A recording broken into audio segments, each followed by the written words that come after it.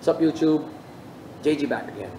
Now, I just uh, came across this uh, this ad on Instagram that says, uh, "Be a certi- be a certified financial planner." Okay. Sinabi yung the usual uh, the usual bells and whistles of being a financial planner. Okay. I tried to be a financial planner before, so I know what that ad is saying is bullshit. What that ad is saying is bullshit. Okay? Here's the thing. If you go on that track of becoming a financial planner without absolutely no first-hand knowledge of the financial markets, you will have a hard time. You will have a hard time explaining to prospects kung ano ang solution mo. Right? Because basically, well, these days, everybody knows, everybody can see, anybody can see a fraud right away. Okay? Everybody can see an impostor right away.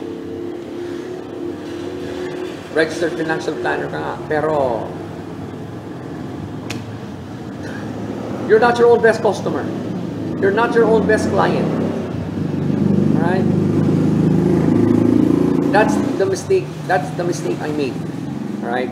I tried to be a financial planner without actually investing in any of those uh, in any of those vehicles like uh, mutual funds, insurance. Wala ako ni isa. Wala ako ni isa. But I still uh, uh, tried to become a financial planner. Okay? The next time you see such an ad, here's here's the number one question you should ask yourself. Do am I willing to invest in those kinds of uh, in those kinds of vehicles, in those kinds of investment vehicles? Am I more than willing to invest in one, in at least one? Ayun, kung yes, at nag-invest ka, go ahead. Go for go for the go go be a, go be a financial planner to someone else. But if not, kung hindi kung sa tingin mo hindi mo kaya, don't be. Right? Don't be. Ako, for one thing, investments on paper, it's not even guaranteed. Right? That's the that's the that's the biggest thing I learned from trying to be a financial planner. Okay?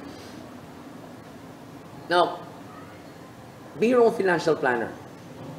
Okay, that's that's another that's another tip I, I can uh, I can give you guys. Be your own financial planner first before giving advice to someone else about financial planning.